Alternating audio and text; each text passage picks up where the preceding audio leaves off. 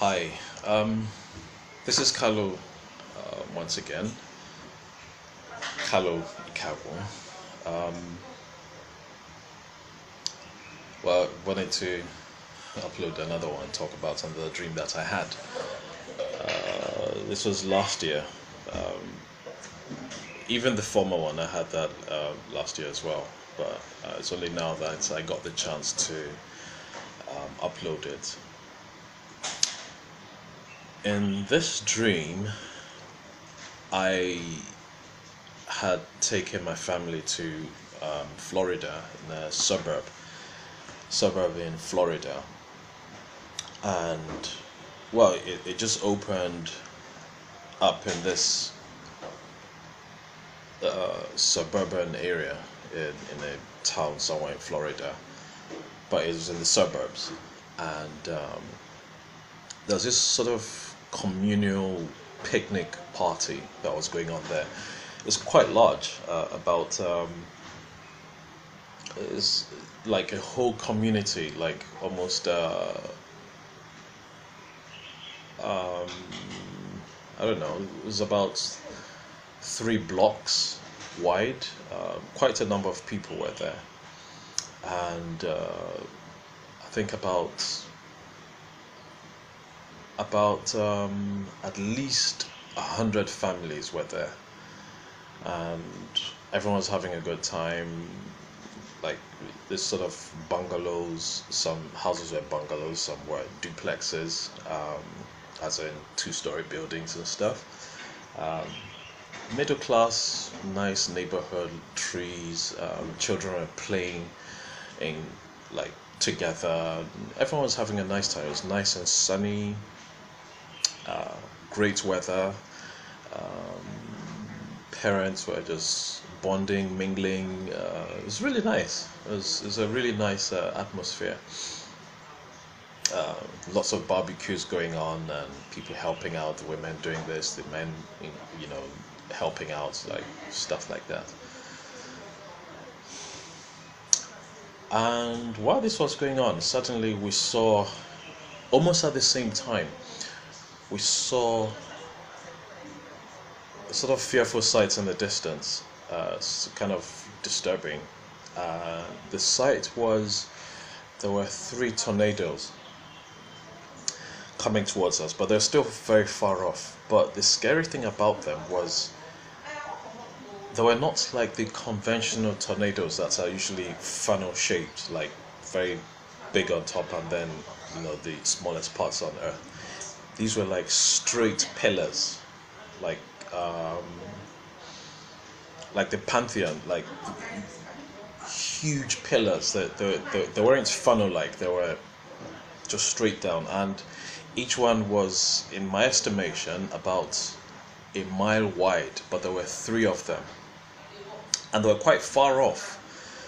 But we could see them. They were so distinct that we could see them, and we knew that were headed towards us. Uh, I think they were about um, uh, about ten miles away, between five and ten miles away. I can't remember what, but they were barreling towards us. And like I said, each one was almost a mile wide. I mean, that that was my estimation. And when everyone saw it, everyone took off I mean, we just ran because we knew it was it was trouble. So I grabbed my wife and my daughter, and I just grabbed them. And as soon as I turned to flee, this huge, huge, huge building just I don't know. I just turned and saw this huge building it was solid. It was it, it, it was like a fortress. I, I don't know how to explain it. It was a solid block of concrete. It was almost as if it was hewn out of a mountain. It was solid. I, think it was probably about 10 stories high, which is quite unusual because I just explained to you the kind of buildings that were around there. That was a suburb. That building had no business being in that area. So I don't know where it came from. Uh, the, the walls must have been at least two feet thick that's how massive this building was and how strong it was. So, without hesitation, I just ran into the building, and other people went into other places. Some, you know, joined me, uh, my family inside inside this huge um, edifice, and uh, so I took my family straight down to the to the basement where I felt they'll be safe, and well, they should have been very safe there. So I, I put them in there and locked them up, made sure they were safe. But um, I was curious. I wanted to see what was going on. So um, I left them there and ran up to uh, not the ground floor, the first floor. Well, in America, that's second floor. Uh, here in Nigeria, it's the first floor. So I ran up the from the basement to the past the ground floor up to the first floor second floor, and um, and then just hid, not just hid by a window so I could see because I wanted to see what was going to happen. Uh, I'm like, God, I know. I mean, I, I know I should be in the basement, but I want to see. Let me see. And um, so I waited um, by the window, just hiding and looking.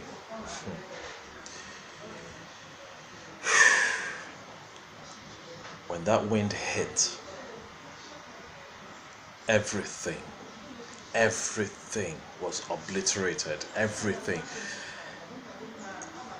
You know how when you winnow or when you winnow um, rice or weeds, I don't know, the, the chaff that comes out, that's how everything was blown away. Every structure, tree, lamppost, um, whatever it was that was above the ground was up in the air, was blown away. Everything that was above the earth, above the soil, was blown away completely.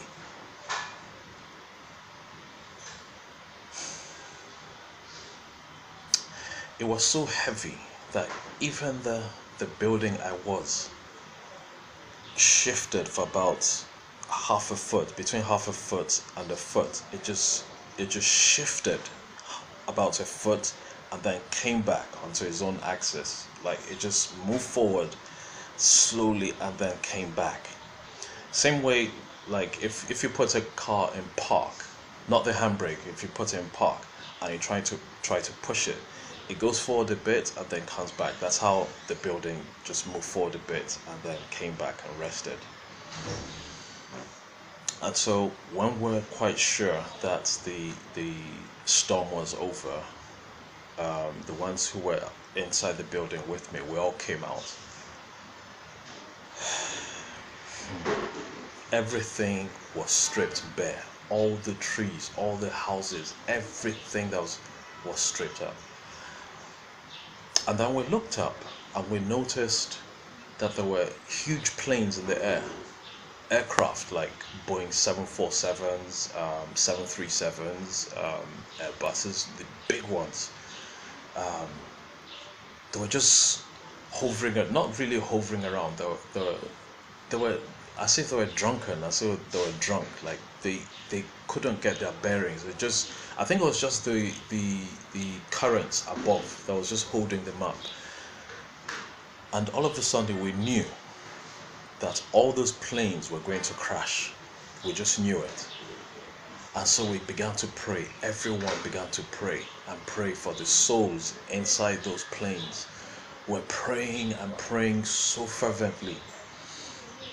And so the planes, all of them said, you know, um, falling down, but it, it, wasn't heavy like a stone. It was like a feather um, coming down, and it just came came down slowly, and fell to the ground and broke up. Like they crashed, but they crushed gently. So the planes were ruined, but everyone in the in the in the in the planes, uh, everyone in them was saved. And then I woke up.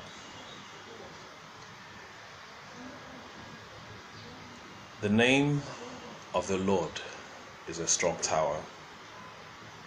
The righteous run into it and are saved. that dream is encapsulated in this verse. The name of the Lord is a strong tower.